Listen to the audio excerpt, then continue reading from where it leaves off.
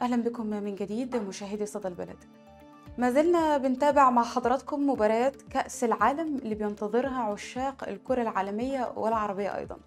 هنوضح لحضراتكم مواعيد مباريات اليوم التي سيلعب فيها منتخب المغرب الشقيق والذي يطمح في التأهل لأول مرة في تاريخه إلى الدور نصف النهائي من المونديال في مباراة تشويقية الحقيقة بينتظرها الجماهير العربية خصوصا وكل العالم أيضا.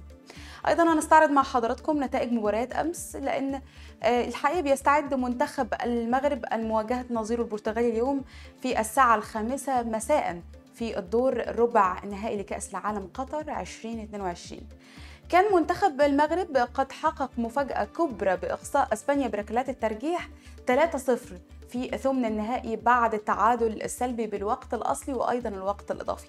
تأهلت فيها منتخب المغرب لهذا الدور بعد ما طردت أسبانيا صاحبة نسخة 2010 من المونديال. فيما تأهلت البرتغال بعد اكتساح سويسرا 6-1 وبيبحث منتخب أسود الأطلس عن دخول التاريخ من خلال التأهل لأول مرة في تاريخه للدور نصف النهائي من المونديال. أما منتخب البرتغال الذي يشارك في كأس العالم للمرة الثامنة في تاريخه فيحلم بالصعود للدور قبل النهائي للبطولة للمرة الثالثة. بعد ما بلغ المربع الذهبي المونديال عام 1966 بإنجلترا حيث حصل حينها على المركز الثالث وفي نسخة 2006 في ألمانيا والتي شهدت نيله المركز الرابع. ورغم تأهله الأدوار الإقصائية بعد تصدره ترتيب المجموعة الثامنة لم يقدم منتخب البرتغال العروض المنتظرة منه أب حيث فاز 3-2 على غانا بشق الأنفس قبل أن يفوز 2-0 على الأوروغواي ثم خسر 1-2 أمام كوريا الجنوبية. عن المباراة الثانية اللي هتقام اليوم هتكون ما بين منتخبي إنجلترا وفرنسا حيث يلتقى الغريمين والفريقين في تمام الساعة التاسعة مساء على ملعب البيت في قطر ضمن منافسات الدور ربع النهائي من البطولة.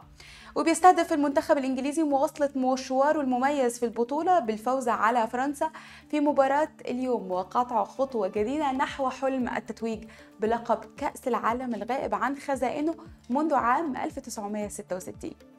على الجانب الآخر بيطمح منتخب فرنسا بقيادة مديره الفني ديدي ديشامب في مواصلة رحلة الدفاع عن اللقب بترويض الأسود الثلاثة وحجز بطاقة التأهل للنصف النهائي.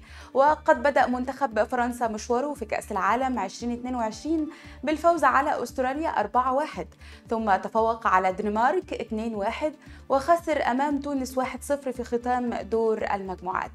تفوق المنتخب الفرنسي على نظيره البولندي 3-1 في الدور ربع النهائي من بطولة كأس العالم 2022 وسوف يلتقي الفائز من مباراة المغرب والبرتغال مع الفائز من لقاء إنجلترا وفرنسا في نصف نهائي كأس العالم.